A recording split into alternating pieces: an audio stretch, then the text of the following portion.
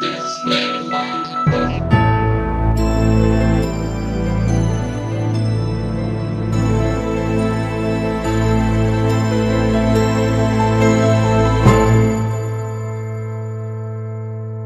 Así es. Eh, tenemos a Socorro en la línea telefónica. Ah, Socorro, ¿qué tal? ¿Cómo está? Muy buenas noches. Bienvenida al programa de Los Desvelados. ¿Cómo se encuentra, Socorro? Sí, buenas noches, Víctor. ¿Cómo están? Muy bien, Socorro, ¿qué dice? Pues ya ve, aquí de desvelada. Al pie del cañón, ¿verdad? Del cañón, yo fiel.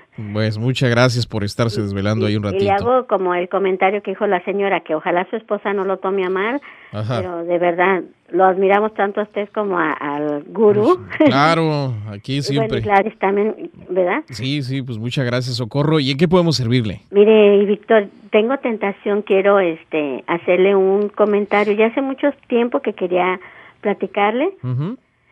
A nosotros nos pasó algo, bueno, no a nosotros, yo no no me di cuenta de eso, pero a mis abuelitos Sí. me, nos platicaba mi abuelita que ella le pasó algo muy curioso. Ajá. Ellos son del Salto, Jalisco. Ok. Entonces, mi abuelita, son, eran personas muy humildes, estaban ya mi abuelito y mi abuelita solos porque todos mis, mis, era mi bisabuelita. Mis abuelitos ya se habían casado, o sea, los hijos de ellos. Entonces, sucede que mi, mi abuelito se llamaba Valente, se murió. Entonces ella como pudo lo, lo enterró.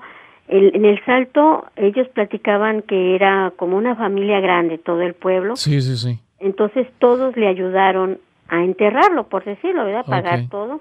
Y se hizo el sepelio, todo. Entonces platica mi abuelita que uno de los vecinos de ahí no estaba en el pueblo. Se había ido a San Juan de los Lagos. A- hay un- una cierta fecha en que se van las personas a pagar mandas. Esta persona se fue, fue y vino. No se había enterado de que mi abuelito había fallecido.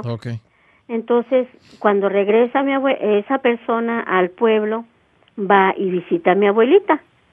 Y le dice a mi abuelita, ¿sabes qué? Este, Andrea se llamaba mi abuelita. ¿Sabes qué, Andrea? Dice, me encontré a Valente que iba camino. Dice, yo ya venía de regreso y Valente iba para San Juan de los Lagos. Mm. Mi abuelita se quedó muda y no le sí, pudo sí. decir nada al señor. Ok. Que fíjate, me dijo un mensaje que me dio para ti. Mm. Dice, pero algo bien curioso, fíjate, dice, me dijo Valente, él iba para San Juan de los Lagos y me, como nos encontramos, me dijo, ¿vas para el salto? Le dijo él, sí. Se te pide un favor, dice, quiero que le digas, dice, me vine y se me olvidó decirle a Andrea que en el pretil, no sé si conoce acá usted que es un pretil. No, fíjese, ¿qué es? Es como, bueno, ahí en los pueblos es como una estufa de, de cemento. Ajá. Entonces, este, yo no tengo, no soy tan viejita, ¿verdad? Pero más o menos, este, se pone, es como le digo, una parrilla de, de cemento, como una estufa, pero se pone, se usa con carbón Ok, ajá. y ocote y todo eso. Entonces le dijo el señor a mi, mi abuelito a este señor, dice, Sí. mira, te voy a pedir un favor. Si vas a llegar al pueblo, no no llegues con nadie, por favor, no platiques con nadie. Llega directamente con Andrea, dice, porque no le dejé nada de dinero.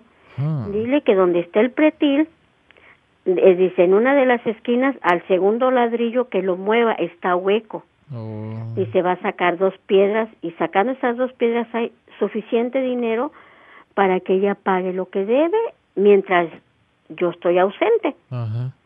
Dijo, es todo, dijo, es todo, pero por favor hazme prometer, dice que no vas a hablar con nadie. La primera que vas a hablar, con la que vas a hablar es con Andrea. Sí, hombre, le dijo el que sí. Ajá. Y así le obedeció el señor. Sí, sí, sí. Llegando a la terminal de donde mi abuelita vivía, de donde era la terminal de los autobuses, creo que era una cuadrita, porque son por cuadras, según eso platica Claro. mi abuelita, llegó el señor y le dio el mensaje a mi abuelita. Mi abuelita se quedó callada. Me imagínese. Dice, ¿estás seguro que miraste a Valente? Sí. Dice, mira, haz por favor lo que te dije. Dice, yo ya te di mi mensaje, yo ya le, le cumplí lo prometido. No he llegado ni con mi familia. Dice, luego regreso, ¿sí? Pero mientras busca a ver si es verdad lo que te dejó Valente, porque él yo lo miré muy preocupado. Ajá. Ya, mi abuelita se quedó muda, como le digo, y el señor le dio el mensaje y se fue a su casa. Ujú. Y mi abuelita pues hizo lo que había dicho mi abuelito, ir a buscar eso y sí es cierto, estaba un ladrillo hueco, sacó las dos piedras y había mucho dinero. Wow. Entonces, como a la hora, dice mi abuelita, que llega El esta señor. persona que da el mensaje con un molón de gente. Y el señor, de así desconcertado, dice, Sí, sí. Andrea, sácame de dudas, dice, ¿es verdad que Valente ya se murió? Dijo, sí, hace dos días que murió. No puede ser, si hace dos días fue cuando yo lo miré.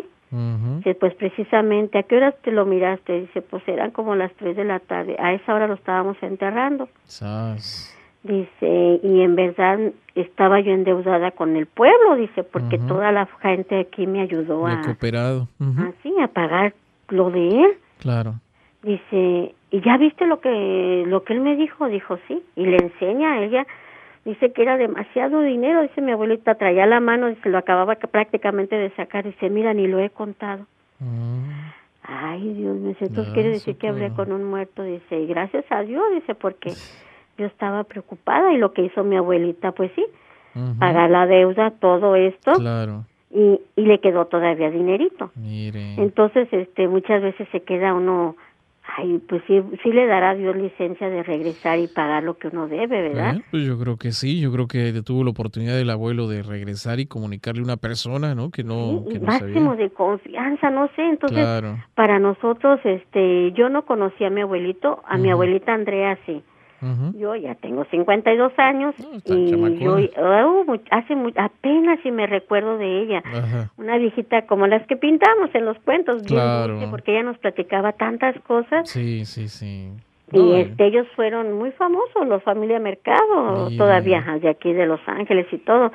Entonces, este, yo ya hace tiempo que tenía la tentación. Mire, de- no, muy interesante esto, Socorro, imagínese, es, es un relato muy, muy interesante de lo que sucedió Sí, y qué bueno que nos lo cuenta porque pues esto ojalá que dé pie a que otros desvelados por ahí nos cuenten sus ándele, que experiencias se anime también. mi primo, la- es uno de los, este, ¿cómo se dicen que ya está uno eh, como, como adicto? ándele. Adicto mi, mi, mi primo se llama Adán Rodríguez. Saludos le, para él. Le dije yo que yo hablo seguido. Dice, yo Sí. no me animo a hablarle. Y él tiene, él va con usted, fíjese. Mire, Yo, Ajá. o sea, yo pues estoy minusválida y, y está muy, a mí se me hace lejos Claro. no manejo, no nada, y con Sí. ustedes.